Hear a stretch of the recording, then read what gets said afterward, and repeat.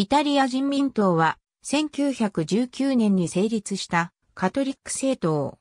シンボルはリバートスと書かれた十字軍の盾。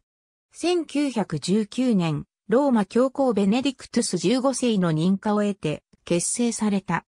ルイジ・ストゥルツォ書記長の下で、教育の自由、地方文献、社会立法、小農民の保護などを主張し、1919年選挙で100議席を獲得して第2党になり、1921年選挙でもほぼ同数の議席を保った。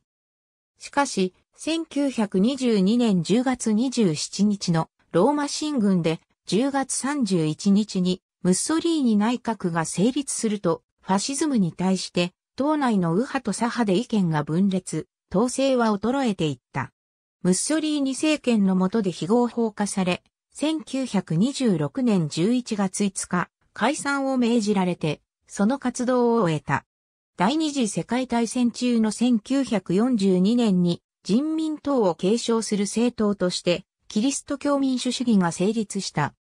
戦後の共和制成立後キリスト教民主主義は一貫して連立与党の座にあったが、長期政権が続いたことによって政治腐敗が蔓延し、1990年代初めの Tangentopoli の摘発によって多くの所属議員が検挙され、国民の支持を失った。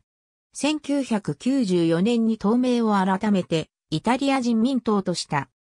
The Editors of Encyclopaedia Britannica、Italian Popular Party political party、Italy、britannica.com、ブリタニカ百科事典、インスイクロペディア・ブリタニカ、インク、2019年10月29日閲覧。ABCDEFG、イタリア人民党イタリア人民党、パーティとポーポラーイタリアーノ。コトバンク、ブリタニカ国際大百科事典小項目辞典。2019年10月29日閲覧。キリスト教民主党、キリスト教民主党、パーティとデマクリゼイア・クリスティアーナ。コトバンク。ブリタニカ国際大百科事典小項目辞典。2019年10月29日閲覧。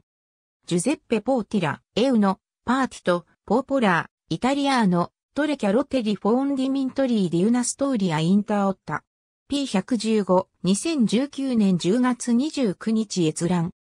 アイルシームボーロデルパーティとスケルト AS、ウーノスクドクローシュ島、マコンインカスタナトナパーラホルテ、リバートス。ありがとうございます。